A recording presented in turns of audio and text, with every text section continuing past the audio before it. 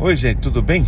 Estamos agora saindo aqui de Miguel Leão em uma PI totalmente esburacada, tábua de pirulito, PI daquela do Elton Dias, né?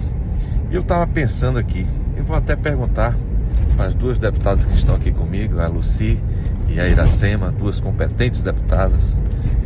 Vou perguntar o seguinte: vocês duas sabem como é que toma a vacina do consórcio Nordeste do Elton Dias? Tá de brincadeira, né, Ciro?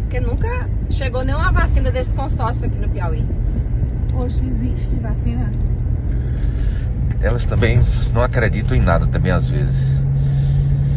Para você tomar essa vacina, você faz o seguinte: você pega uma estrada dessa que o Elton Dias não construiu ou não recuperou, passa por uma obra do próprio Piauí do Rafinha Pé de Chumbo, que ele não fez, chega num hospital ou no posto de saúde que ele também não construiu, e aí você toma a vacina que ele não comprou.